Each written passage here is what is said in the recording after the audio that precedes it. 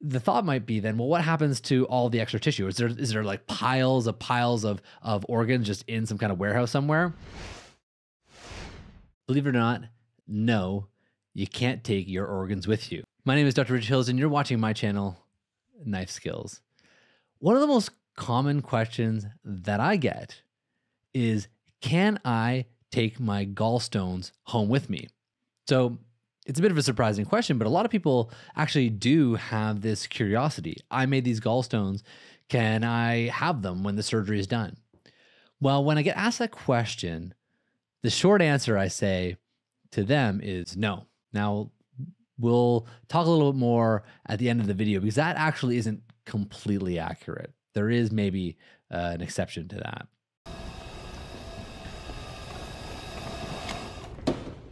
How about no?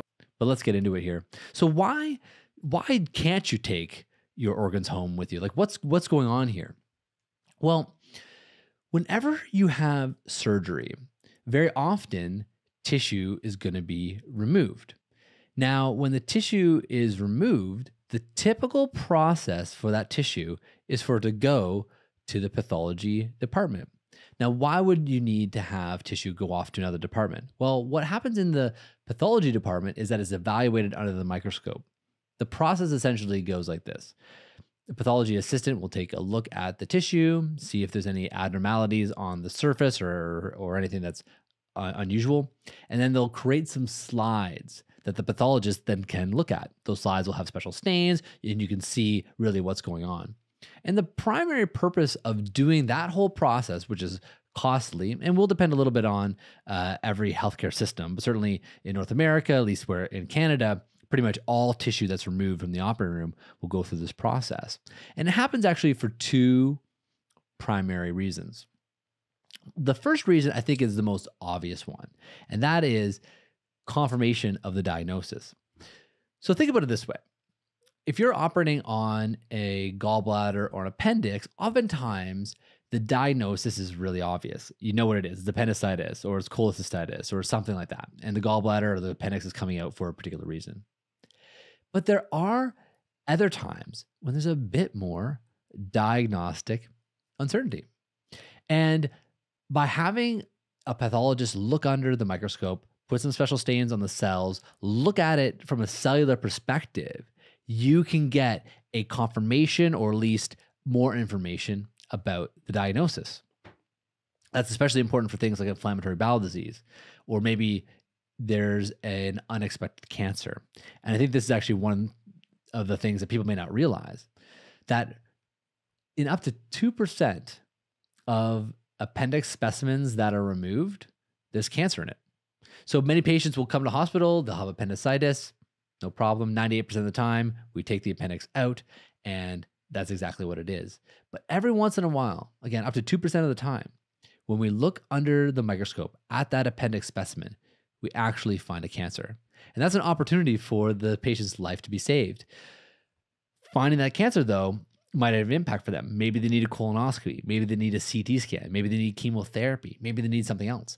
And by evaluating that appendix under the microscope, we have that opportunity it's actually really interesting. That particular fact uh, extends to this new issue of how there's more and more non operative appendicitis happening. More and more are we treating appendicitis with antibiotics rather than surgery. And that's really should be a topic for another video, but there's lots of growing evidence and a growing trend in that direction, of course, in select patients. But one of the common problems and criticisms of all of those studies is that if you don't take out the appendix, there's no opportunity for the pathologist to look at it and find those rare but significant cancers. And that can happen to a gallbladder, colon, all kinds of things. And so it's actually very, very useful. So that confirmation of the diagnosis is a critical feature of this whole process of actually having that organ removed and evaluated by pathology. But there's another reason, and that's accountability. In general, doctors are extremely honest people who are focused on providing the best possible care for the patient. But that honesty and trust that people have in the doctors really has another side to it. Trust really comes when there is accountability. In so many ways in our society, we enforce trust by ensuring there's an element of accountability. And that happens for surgeons in many different ways. One of the most common ways that we establish accountability among surgeons is this morbidity and mortality rounds. Now, they've changed over the years in how they're structured. And I can't say that every single hospital is using formal morbidity and mortality rounds on a regular basis, but certainly this is a cornerstone to providing high quality surgical care. It's not meant to embarrass people or expose people's faults necessarily. What it is, it's, it's really meant, again, to be that forum for accountability. When something goes wrong, you present your mistakes. And that way, that ensures that you're always providing your best. You're always working towards your best. Knowing that you're going to have to have your mistakes discussed keeps you, again, accountable, keeps you on your toes. It keeps you focused on providing that best possible care and prevents people from, in a lot of ways, slipping through the cracks. I know in uh, Dr. Atul Gawande's book Complications, he talks a little bit about mortality and morbidity rounds, and that's an excellent book, and I'd really encourage you to take a look at it. It's an old book now, but it's fantastic if you're interested in this type of thing. But every once in a while, surgeons might not remove the tissue that maybe they said they did. And so having a pathologist confirm it's important. Or maybe the surgeon is removing tissue that would otherwise be normal. And again, if that turns out to be a trend, that could be a problem. Or maybe, again, um, you thought it was one thing, but it really is something else. And that accountability is what's established by having those tissues removed and evaluated in the pathology department. So, pretty much everything that gets taken out in the hospital gets sent to pathology to be evaluated. Now, the organ itself is destroyed through that process. It's cut up into slides. Um, the tissues are, are, are, damaged to the point that it, there's no nothing really to look at at the end of this. And so for that reason, there's really no reason to take your organ home with you. So that really answers the question. If you come to the hospital and re- remove your organs, you're not going home uh, with them. But it is kind of interesting because the thought might be then, well, what happens to all the extra tissue? Is there is there like piles of piles of of organs just in some kind of warehouse somewhere? Well, no. Most of the tissue actually gets incinerated. But the tissue that ends up on a slide needs to be stored for a period of time. Typically, for a normal slide, it's about five years. And if it's got some abnormalities on it, it's up to 20 years.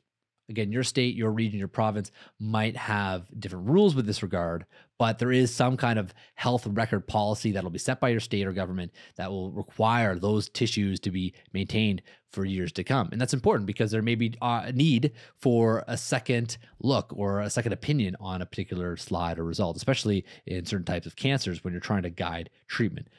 That that is critically important. So, let's get back to this question. Well, can you take your gallstones home with you? Because from a surgeon point of view, is a gallstone isn't a tissue. It doesn't have to go off to the pathologist. It could if you're trying to determine what kind of gallstone it is. Again, that might have relevance, but for the most part, certainly in my uh, region, we don't evaluate every gallstone for the type of gallstone. So I could easily just at the end of the case open up the gallbladder, take out the gallstone, bring it to the patient. I could totally do that. But obviously, the hospital policy doesn't want surgeons carrying tissues around and giving them to patients. So the policy is that everything that's removed goes through the pathology department. But that's not necessarily the end point for this. Let's think about another example bullets. So I'm a trauma surgeon. It's not uncommon for a bullet to be rem- removed. We send it off to the pathology department. Now, they're not going to be evaluating that bullet under the microscope or anything but they are going to record that they received it. They are going to document the patient that it came from and those types of procedures. And the police that might want that bullet can go to the pathology department, fill the proper paperwork, and retrieve that bullet so they can do their own analysis. Well, depending on the hospital you're in, that may actually be possible for the remaining tissue or the gallstones in your case. I'm not saying it can, and uh, and most likely you'd have pretty strong barriers to getting them. But I'm not saying that it's impossible. Most hospitals will have some kind of procedure for tissue to be removed. You can think about it another way. That hospital might need you to essentially move a slide from that hospital to another hospital if they need another pathology to look at at it. There's there's reasons for stuff to come out of that department and there will be a procedure for it. Again, in your case, they might say no, but a procedure will likely be in place in your hospital to remove tissues, organs, um, implants, like again, uh, a bullet in this case, uh, they could possibly be removed. So that's my summary there. If you come to hospital and we take your organs, they're staying with us. So my name is Dr. Richard Hilsden, and Thank you for watching my channel. I really appreciate all your comments.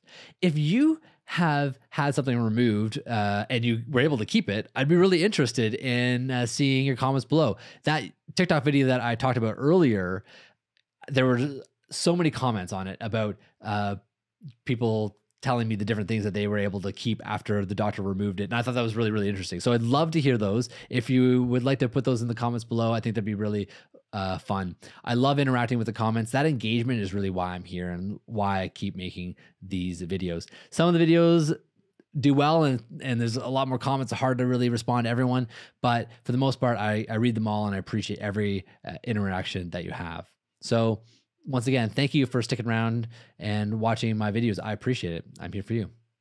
Have a great day.